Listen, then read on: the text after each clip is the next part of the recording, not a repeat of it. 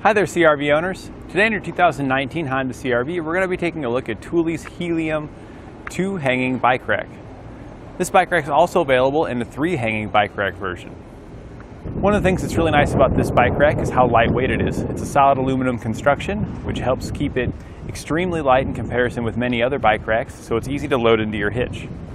If you constantly wanted to have a bike rack that you load and unload and store in your garage, this is one of the best options out there and since it is aluminum, it won't rust.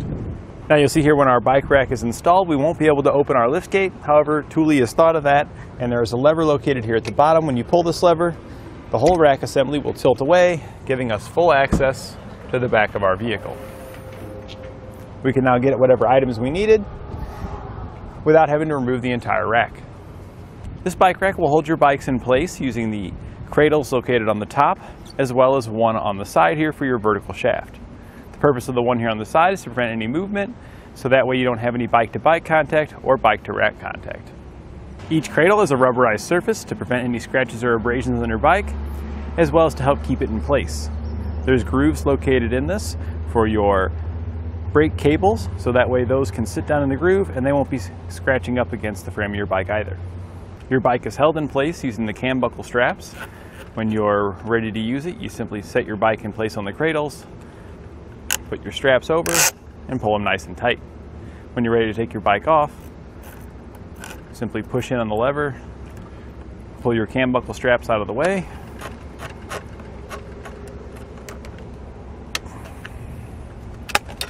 and then your bike can be lifted off. You're now ready to go hit the trail. To help keep your bike secure to your rack, there is a lock cable that slides out of the middle here so you can run that through your bikes, keep them nice and secure. Now you also want to keep in mind that having a bike rack on the back does add to the length of your vehicle. It's particularly important to keep that in mind during parking maneuvers and in tight parking lots. From the edge of your bumper to the furthest point, it's going to measure about 35 inches. We can reduce this measurement, however, by pulling up on the lever here at the top and rotating our arms down.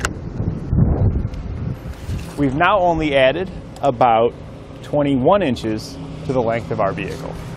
Some other measurements to keep in mind is that our closest point is going to be about here at about 10 inches, and the clearance from the ground to the back is going to be here at about 14 inches. This is one of my favorite parts about the rack, how it installs. So it is lightweight, which makes it easy to put in, but another feature that makes it really easy to install into your hitch is that it just slides in and there's a hook here that goes into your hitch pin hole and then you just twist the lever down here and once you've got it nice and tight it spreads apart on the inside keeping it nice and tight in the receiver acting as an anti-rattle. This keeps all the vibrations that you would have back here and helps prevent those from transferring up to your bikes on your bike rack. For further security, the knob here does have a lock in it and when locked the wheel will just free spin, so that way nobody can just come along and nab your bike rack. Here on our test course, we'll start by going through the slalom. This is going to show us the side-to-side action. This simulates turning corners or evasively maneuvering. Once we get to the alternating speed bumps, we'll see the twisting action. This will simulate hitting a curb or pothole or driving over uneven pavement.